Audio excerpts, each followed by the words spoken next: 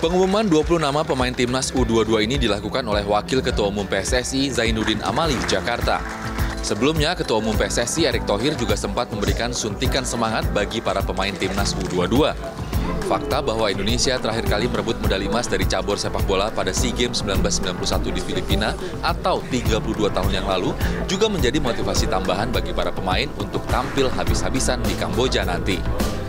Kami sudah siap untuk SEA Games 2023 di Kamboja. Semoga kami bisa menampilkan yang terbaik dan kami bisa membawa pulang medali emas.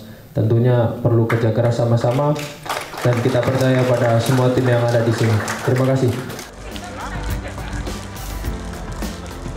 Ditangani oleh pelatih Indra Syafri, timnas Garuda Muda sudah menjalani training camp sejak bulan Maret lalu. Dari puluhan nama yang sempat dipanggil, tim pelatih dan PSSI akhirnya menentukan 20 nama yang nantinya akan berangkat ke Kamboja. Yang membedakan bicara target hari ini masalahnya itu bukan target dari kami. Pemain sendiri menargetkan diri. Itu yang saya terharu gitu.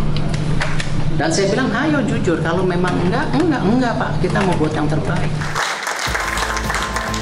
SEA Games Kamboja, timnas U22 Indonesia tergabung di grup A bersama tuan rumah Kamboja, Myanmar, Filipina, dan Timor Leste.